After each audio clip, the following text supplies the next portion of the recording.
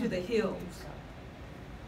From where does my help come? My help comes from the Lord who made heaven and earth. Avinu Malkeinu, our Father, our King, we thank you once again to stand behind your sacred desk.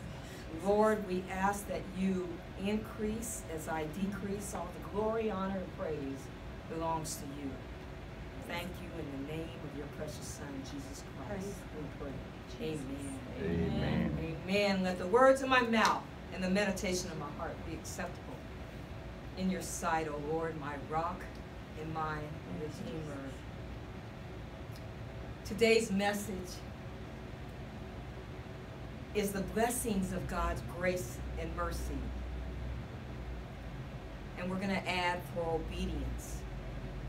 And the scripture passage is the book of Leviticus, chapter 26. Mm. Now, the book of Leviticus, chapter 26, it's called Vayikra. The book of Levit- Leviticus is called Vayikra in Hebrew. And Vayikra refers to the first words of the passage Adonai, the Lord called. So today in chapter 26, we're going to be speaking about the rewards for obedience and the punishments for disobedience. Baruch Hashem Adonai, blessed be the name of the Lord. If you will, would you please turn in your Bibles to the book of Leviticus, chapter 26. And we're going to go through this chapter. I highly suggest that anyone who has not taken the time to read the book of Leviticus, especially chapter 26, please do so. And it does not matter which uh, version of the Bible you read, God's word is all the same. Amen. Amen. So, this is the last Sunday for the monthly theme of the blessings of God's grace and mercy. Now, we began the year with the themes of what is God's grace and mercy.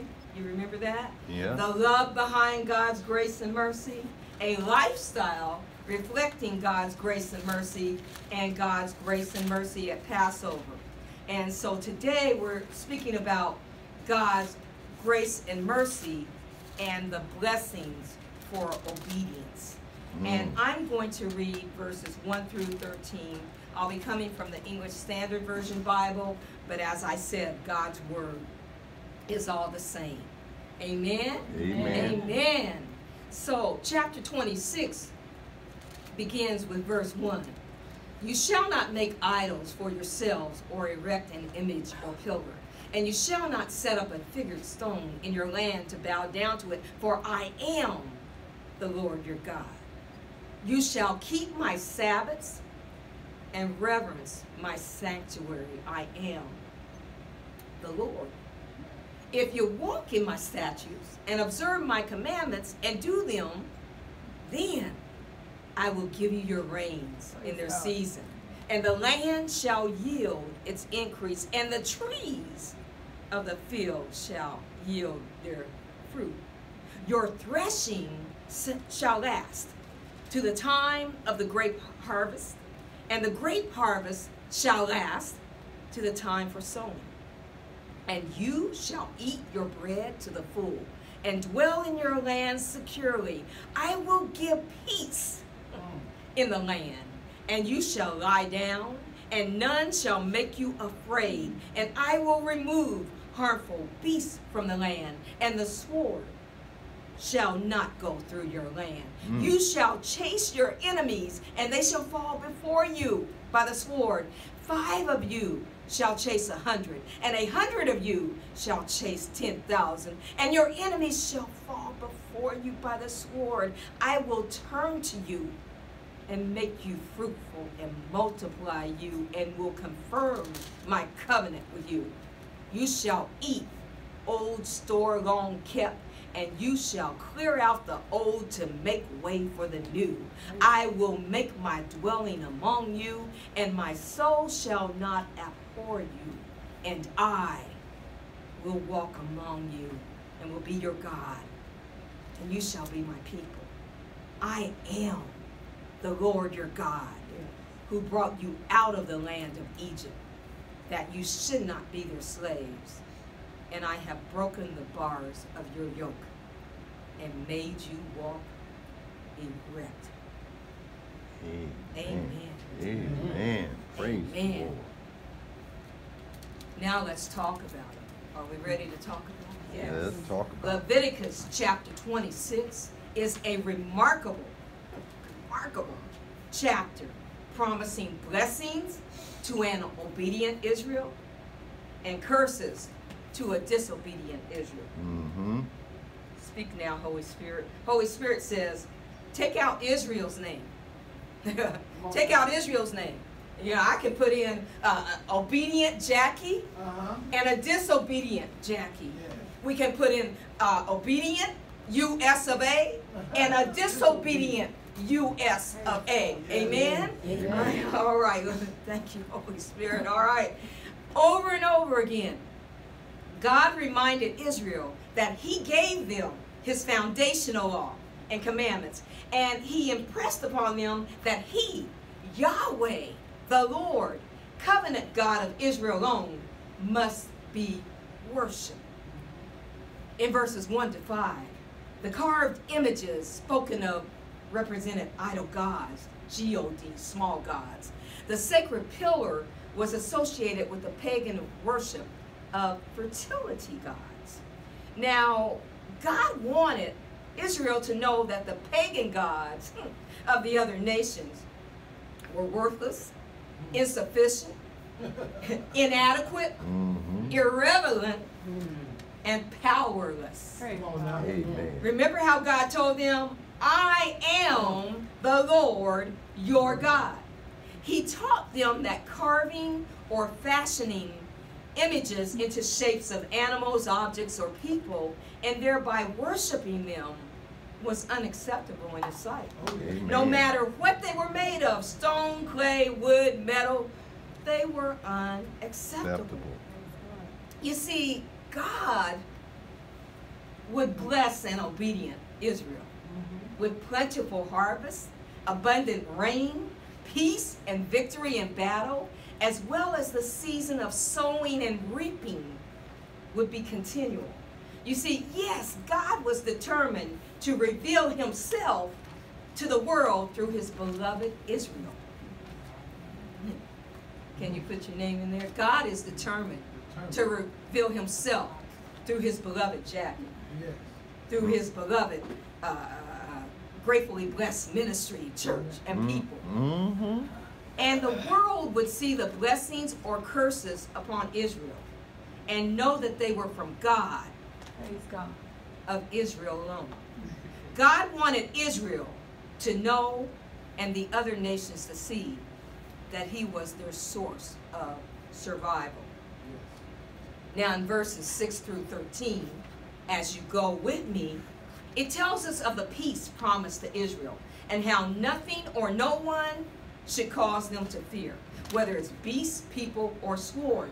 Israel would chase their enemies, hmm. and their enemies would fall before them. Hmm. Now, verse 8, if you go there, speaks of divine blessings with a supernatural element. Because watch this the ratio of 5 to 100 is the result of the number 20 being the pathway, right? Uh-huh. Mm-hmm. But the ratio of 100 to 10,000 is the result of 100 being the pathway. So, what I'm saying is that God used small or even large numbers of people to defeat Israel's enemies. He was telling them and us today that no matter what things look like or whatever the odds may seem to be, that he is still in control. Amen. Amen. Amen. Debt ceiling. He is still in control. That's right. Israel should have known that God was the one to make them fruitful multiply them, and confirm his covenant. Israel should have remembered that God would clear out the old and make way for the new. God spoke to the Israelites about freedom, dignity, and proclaim their liberty as his people. And and God invited them to walk in it. Amen. Only Yahweh. Praise you know, God. what, what a God, you know. He, he explains it all, and then he invites you Yes. to Mhm. walk with him. I want to read verse 13 because it says, I am the Lord your God who brought you out of the land of Egypt, that you should not be their slaves, and I have broken the bars of your yoke and made you walk erect. Man, There's nothing too hard for God. that's right. Nothing. Now, I got to switch the light. Now is the time to talk about a disobedient Israel. And mm. remember, I said I put a disobedient Jackie, a disobedient US of A. Mm-hmm. For you see, I could not preach God's word about blessings and not preach about curses.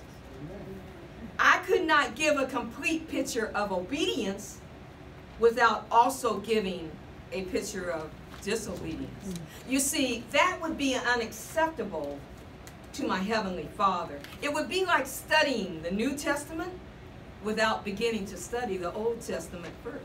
Come on now. this would be compared to only experiencing the sunshine in our lives and not the rain. Mm. Or knowing the blessings of obedience without the curses Wow. of disobedience. For you see, once you know the total picture, then one can make the choice to Come on choose eternity with God That's it. or hell apart from God. Mm, mm, mm. My I know everyone here has chosen eternity That's with God That's today. right. Amen. So I would like to exegete these verses. In other words, I want to pull out the points of scripture given to me by the Holy Spirit. Now you notice I said exegete. Eisegete is when you put stuff in. Exegete is when you pull it out. Pull it out. Are you with me today? Pull it out. Is it all right to pull out? Pull it out. God. Okay, we're talking about verses 14 through 39. And I'm not going to read them, but I'm going to exegete. Israel would have to experience both God's blessings and curses to understand the depth and breadth of being faithful to God. You know how that is sometimes? You got to go to the, through the rough and Huh. tough until you understand what God was trying to tell you to do in the first place. That's right. you will notice, did you notice that the curses are double the blessings? Oh, yeah. Someone say, ouch. Wow. the, the curses are double the blessings. Praise God. So, beginning from verses 14 to 39, God says to them, But if you will not listen to me, if you will not do all these commandments, if you spurn my statutes, and your soul abhors my rules, then I will do this to you. I will set my face against you. And if in spite of this you will not listen to me, Mhm. then if you walk contrary to me Come on now. and will not listen to me Mm-hmm. over and over and over again, Mm. my God. Let us go deeper into the future curses for a disobedient Israel. So we begin with verses 14 to 39 again. A disobedient Israel would be visited with panic, disease, fever consuming the eyes and making the heartache, enemies eating all the seeds sowed in vain, God's face set against them, being struck down by and before their enemies who would rule over them, and Israel would flee when none were pursuing them. Mm, mm, mm. My God. That's something It- for it- it- that- That's, I mean, just think about it for a minute. If you're fleeing and nobody's chasing you, nobody's pursuing you, Oh, God, that's heavy. That is. That That's is. heavy.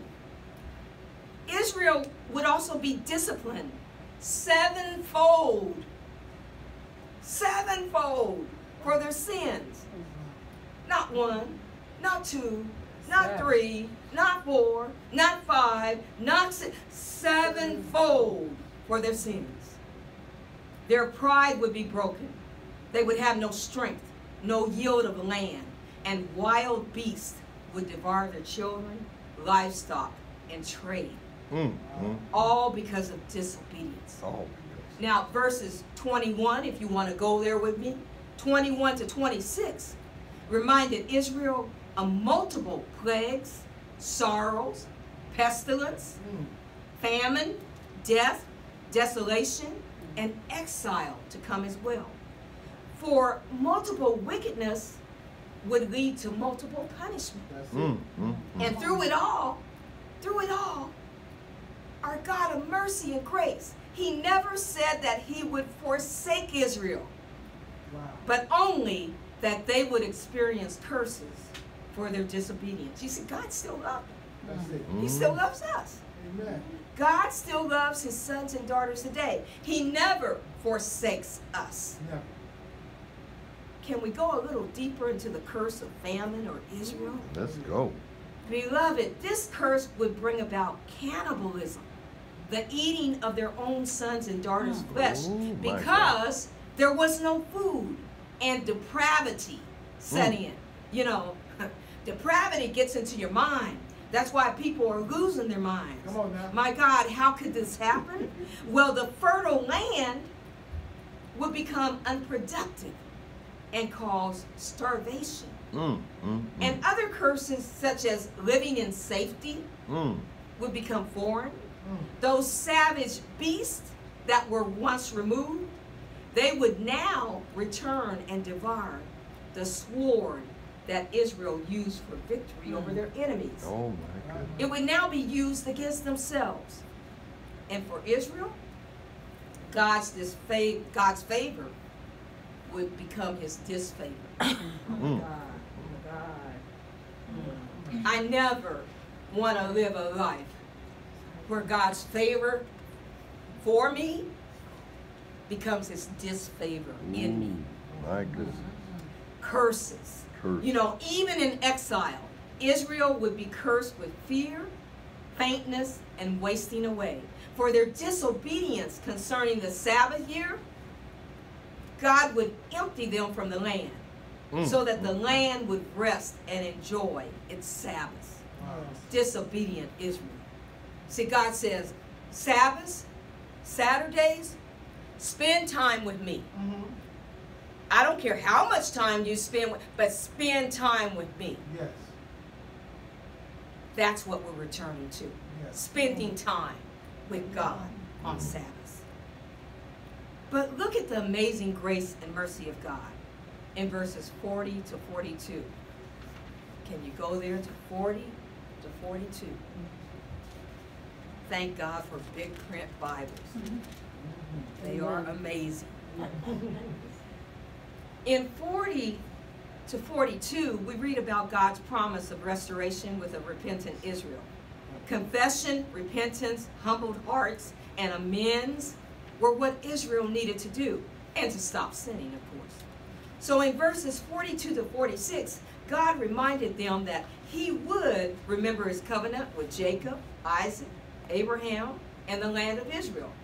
The unbreakable nature of His covenant with Israel would remain steady and ready to restore them when they repented and turned back to the Lord, their God. Here, what do we see? We see apostasy, you know, turning away from God. And then we see them being exiled. But then we see God's restoration at work. Mm. You know, Second Chronicles says it all for us, 7 and 14, and we all know this one. If my people who are called by my name humble themselves and pray and seek my face and turn from their wicked ways, then I will hear from heaven and will forgive their sin and heal their land. Amen. Amen. You know, as for me, I desire to receive God's blessings for my life. I ask God to keep me in the path of obedience daily.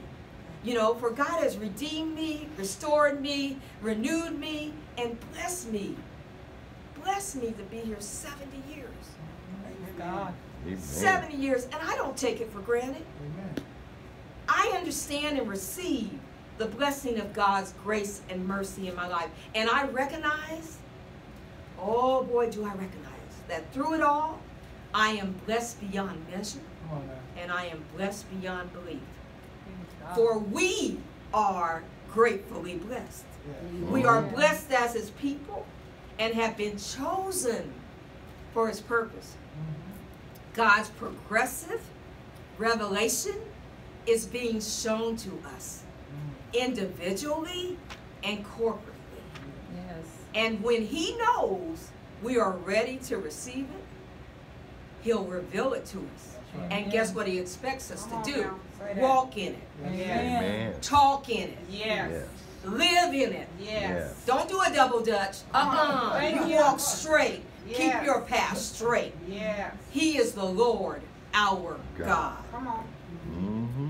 Now, someone might say, but this is 2023.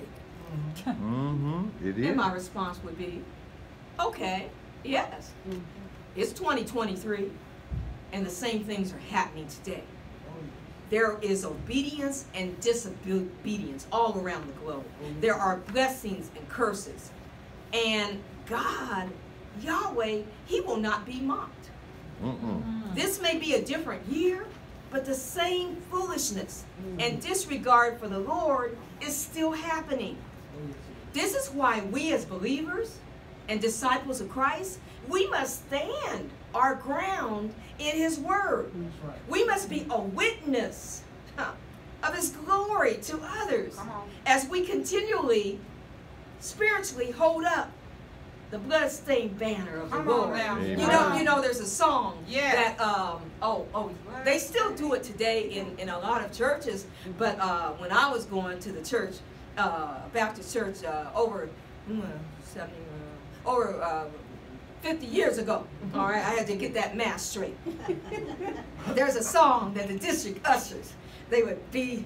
It was Usher Day, We are and they would be they would be in the line ready to go. And when the song uh, uh, uh, went and started singing, I won't sing it because I know uh, copyright infringement. All right, but anyway, the song would be "We Are Soldiers in the Army.